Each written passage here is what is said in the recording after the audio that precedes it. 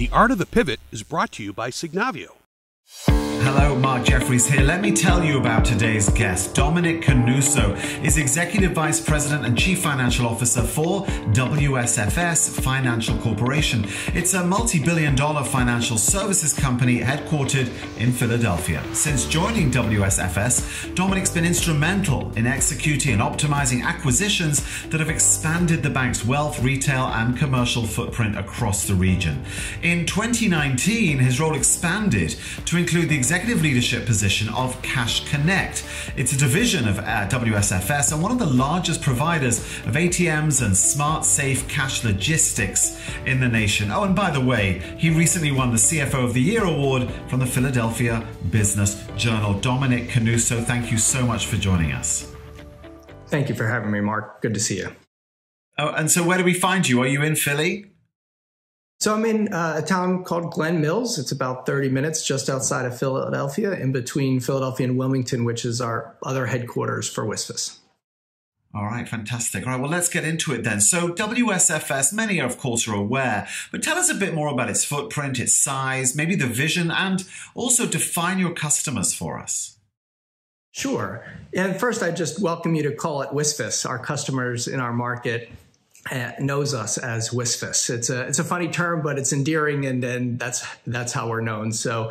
Um, First and foremost, WSFS uh, was founded in 1832. Um, so it's in fact one of the 10 oldest banks in the country.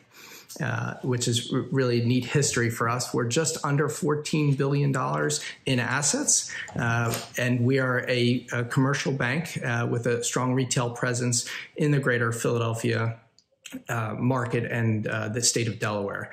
Um, we've uh, really built our brand over uh, the last 30 years to be what we now are as the largest locally headquartered community bank in uh, the in the region. And um, just for background, Philadelphia is uh, the sixth largest populated market in the country and the fourth largest banking market in the country. And we are well positioned uh, to be the local bank. In addition to just being your traditional lending bank for uh, businesses in our region and uh, branch network for our retail customers. We have a couple national businesses as well, including Cash Connect, which you mentioned, which we'll talk about in a little bit.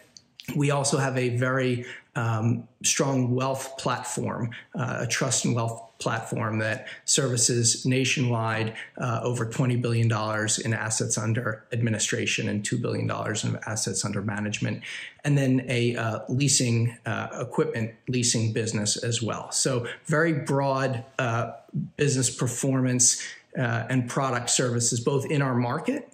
As you would expect from a community bank, but also we service businesses nationwide. Uh, you sound like a, a, growing organization. There's so much to do with WSFS, but also, of course, Cash Connect is something under your purview. I mentioned a few details, but what's your elevator pitch for that business and how is it related to, to the main organization? Yeah, sure. I actually call it one of the first fintechs. So while fintechs have uh, garnered uh, you know focus over the last ten years with new entrants providing services to customers uh, in the banking industry, Cash Connect was founded 20 years ago in house at WSFS to provide both cash and cash logistics and services to ATM providers. So in the, the last you know 30 years, as we know, ATMs have um, grown tremendously. There's over uh, a half a million of them in the country. Um, that and many of them are non-bank owned, and so they are businesses that we call ISOs, independent sales organizations, that position these ATMs to provide cash uh, for, to generate the fee. And we provide the cash in those ATMs, including all of the logistics, armored carrier services, reconciliation, and optimization. And then one of our newer products is uh, the smart safes. So if you think about ATMs distributes cash into our marketplace, smart safes are a way of accepting cash at points of sale, particularly in retail and quick service restaurants. And what we've done is create a customized technology framework to um, facilitate the moving of this cash And at any point in time, we have $1.4 billion of cash through ATMs and smart safes that turns uh, about uh, 12 times a year. So, in fact, almost $20 billion of cash moves through our system annually. So, it's very unique. We're the second largest market share provider in this space. Most banks uh, do not participate in this, and it's a homegrown, um, innovative uh, business for us. Sounds like a great business. But let me ask you a question. The, the pandemic has ended up being a catalyst for so many things that were kind of happening anyway, speeding up change. Have you seen any change in the usage of cash over the last seven, eight months? Yeah, it's, it's a great question, one we get a lot, in fact, because I think we talk about um, banks going more digital and digital adoption. We all now bank on our phones. But I think there's a belief that as that grows, that cash goes away. And in fact, that's not necessarily the case. They both exist. And so we get the question a lot is you're growing in a business that serves cash and isn't cash going away? And the, the answer is it's not. So, as a percentage of transactions, it's going down as other forms of transactions grow. But cash in absolute dollars and volumes is relatively flat to slightly growing, and we continue to take market share. So, th- that's the first and foremost. What is interesting is that the, the COVID environment absolutely tested this theory. And the, the statistics that I give to, to provide context is that in April, when 80% of the nation was in lockdown orders, if you will, or stay at home orders, ATM transactions were only down 40%. So 80% of the people were staying at home, not going out, but yet ATM withdrawals were only down 40%, and the dollar amount was only down 35%, meaning people were taking out more. And it demonstrates how important cash is across the, the country to, to our customers uh, and, and to everyone. That is a fascinating insight, not just into your business, but into the economy as a whole. Thank you for that. Um, let's move on then. So, your role at the organization, as I mentioned, includes big leadership responsibilities for the bank itself as CFO, as well, of course, as being the executive for Cash Connect. As a leader, I'm always fascinated by how people do this. How do you balance those two roles? Do they interact? Is it like a different day? You think, okay, today I'm all about Cash Connect? Yeah, so I, I, wish it was by day. It's probably by meeting. Uh, so, but the first thing I would say is is what you've probably seen in business. The the CFO role has become less about the traditional accounting and treasury and functional responsibilities, and more from a strategic business partner driving and growing and making investment decisions. So for me, I'm not a CPA. I'm a CFA charter holder. I, my, you know, my pedigree was business consulting. So it, it was always tangential for me to be both a CFO and a business partner to drive businesses forward. Uh, and, and the truth is, I've, they're both fun. So as a CFO that has to have that role, you're wearing a lot of hats. So for me, shifting over to more of a GM style role at Cash Connect, it's just wearing those hats a little bit heavier at times. Uh, the, the, challenge is taking one off and the other back on from meeting to meeting. Um, but it's it's a tremendous amount of fun. Uh, it, it, it provides you know uh, opportunity for both teams to really step up uh, for the, the leadership teams there and all of our associates. Given that I, I am kind of working both roles off and on. Very, it's very interesting that you can actually do that and it just works. That's a lesson for many leaders watching. Um, now, of course, in terms of leadership, I know that the M&A uh, area, mergers and acquisition for WSFS, that is something that you have a lot of responsibility over. Could you give us a little sense of that? So beyond the financials, if you're going to make a purchase of a another organization, what are some of the other considerations that you, in your role, with your purview, uh, that you take into account?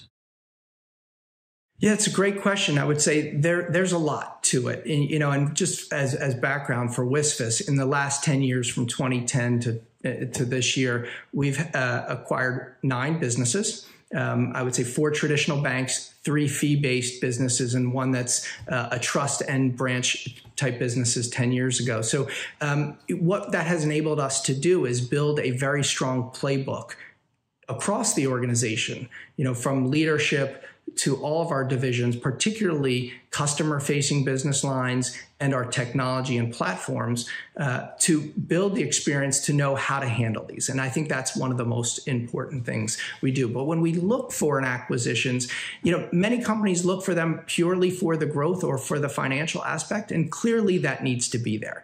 But for us, for WSFS, and you know, I didn't mention this on your first question, the acronym WISFIS we use as our mission to, to represent we stand for service. It is one of the most important hallmarks of who we are. It's what our associates know us to be and how we we approach our our roles, both customer facing and internally. Service is a, a, a key attribute, and then uh, ultimately highly engaged customers. And we actually work with the Gallup organization on both, and we've worked with them for 20 years now continuing to improve our engagement with our associates and our customers. So for us, when we look to acquire another organization or merge with another organizations, it's really important that the values, the capabilities, and those philosophies are, are similar, or there would be too much challenge in onboarding both the associates and customers. So for us, it's ensuring that there's value beyond the financials, there's strategic value,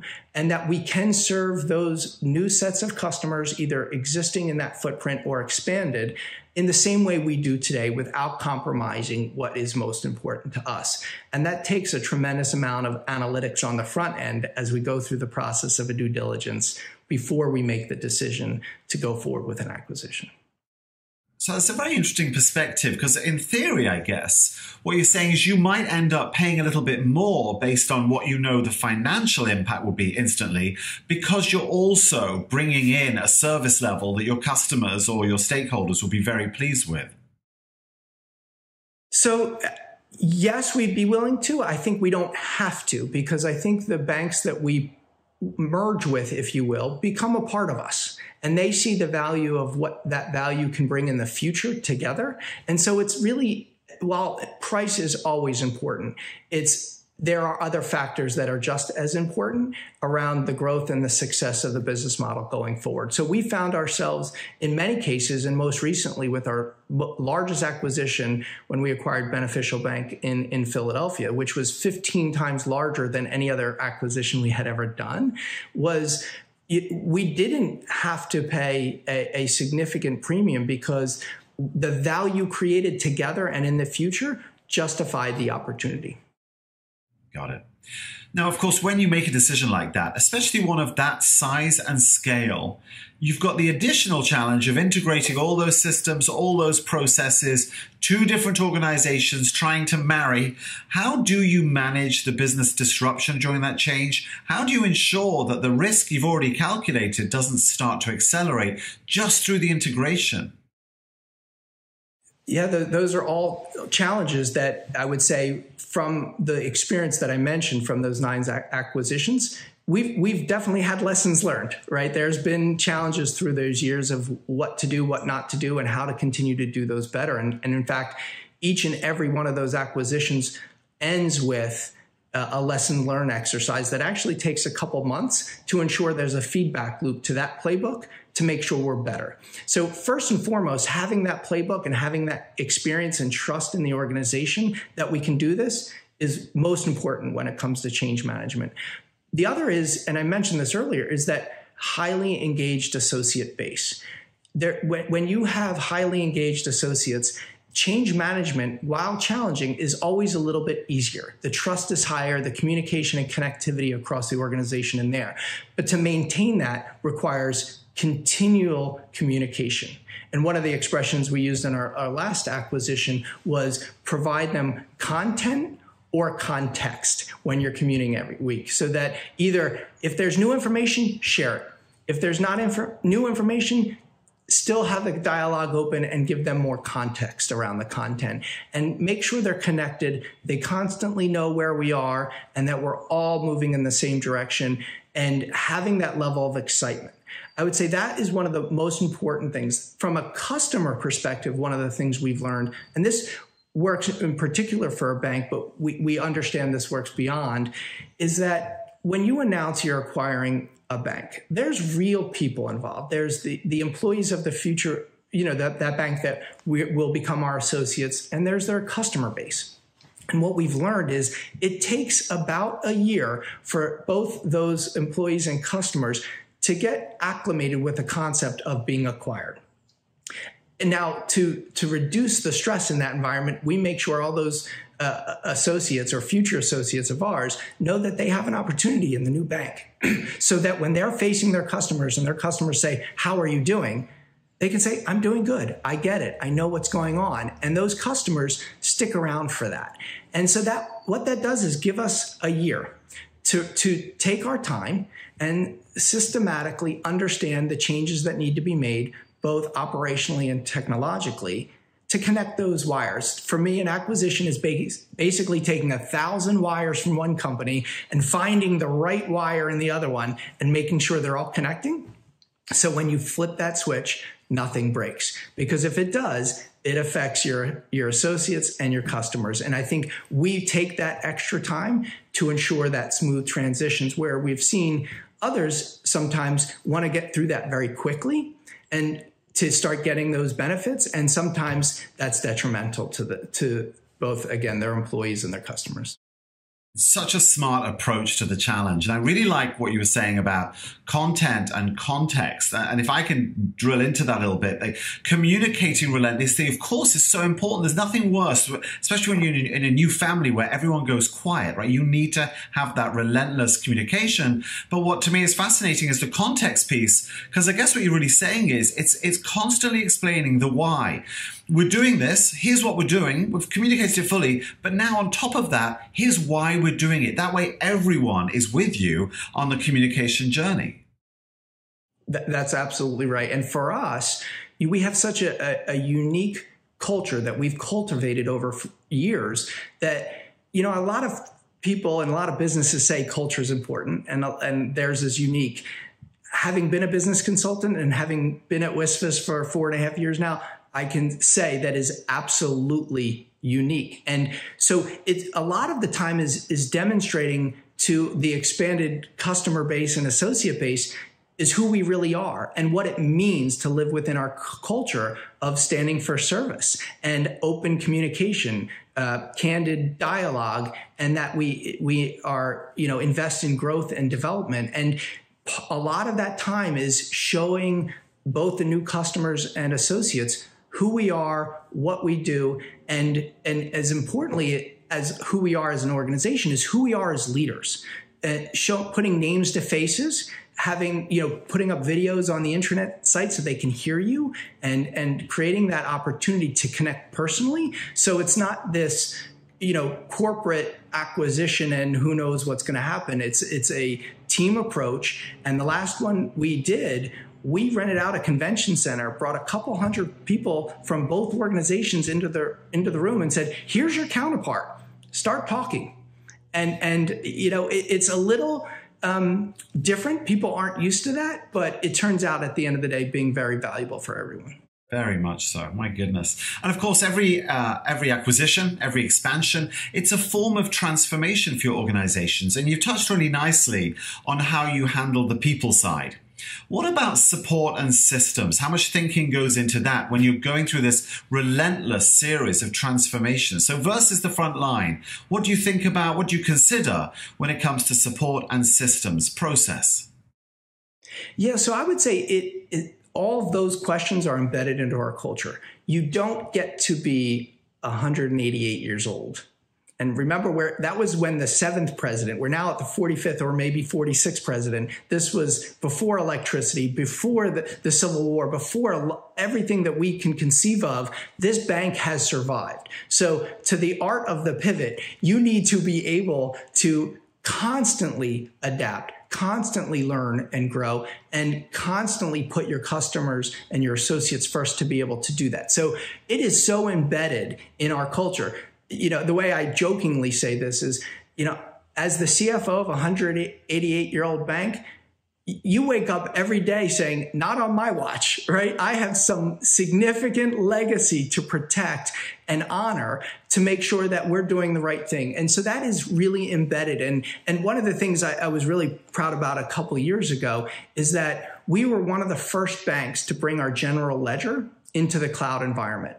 And we did that with Oracle and, and Grant Thornton. And, and you know, it was, it was a great moment. And we won an award by Oracle for the implementation to be able to say, we're at the time, we're 185 year old bank who's now gone to the cloud.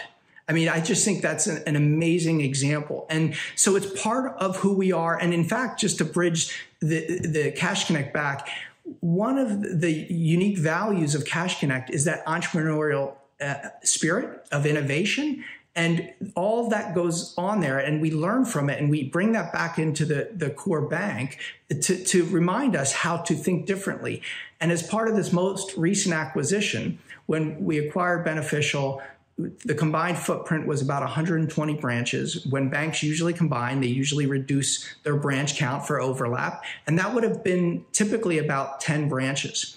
What we did is we we saw the trends a couple years ago of you know lower transaction the branches, customers using the branch differently, and we went a little bit further and we got ahead of the curve and we reduced that branch count all the way down to 90. And we were able to do that without disrupting our customers.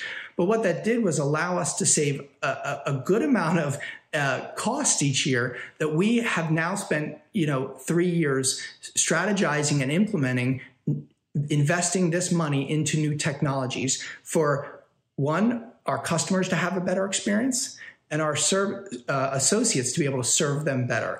And this is a multi year uh, journey that we internally call delivery transformation, which is basically melding our physical and digital footprint and our ATM network all together for a seamless, um, best in class service for our customers. Uh, and you're right, you've got to meet the customers where they are. It does. I'm going to give you an outsider question now. This is my ignorant outsider question. I live in the Boston area, and I can't believe how many bank branches are on every single street. They're all permanently empty, and yet they're open, lights on, and I just don't get it. I heard a rumor at some point it's basically just almost like an advertising presence. You've decided that that money is better spent elsewhere, namely out there digitally and in the cloud. Yeah, I think it's a combination because for us, we stand for service. We do need to be where the customers are and want to be. And what we found, I think there's a perception that some folks use branch only, some folks use mobile or internet only. And in fact, for the most part, most people use all channels. They just use them differently. So for us, the, the branch is great advertising. It's a great position to demonstrate, particularly in our community, that we are the local brand to serve you. It's when people want to open an account or start a loan process. Yes, it's easy to start online, but most folks want to talk to somebody while they're doing it. And then secondarily, I almost liken it to the Genius Bar at Apple. You can buy an Apple phone anywhere, but where do you go when you got a problem?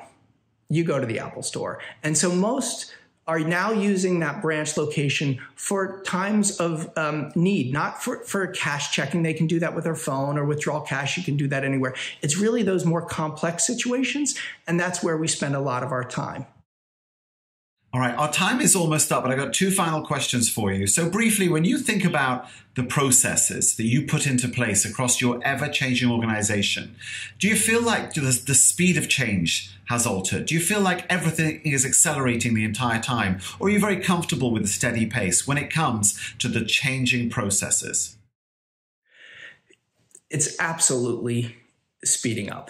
And part of our delivery transformation, when we're adding these products and service to our customers, it's also to change the architectural design uh, in the background so that the speed to market of a new technology can be much quicker. What used to be 18 months to 24 months now could be six months. Most of the applications people use, either socially or business wise, didn't exist a year ago. So for a bank, we need to be able to bring them into our environment and and be prepared to provide them to our customers, but in a way there's control and discipline to protect them and keep their information, their money safe. And so as importantly of providing what's needed today is setting up that infrastructure to provide for the new applications and services that do not exist yet. Fantastic. And now, my last question to you. Uh, 2020 was, well, let's just call it a momentous year for so many reasons. Many people would just like to delete it. Uh, but how are you feeling about 2021? So, we are feeling positive.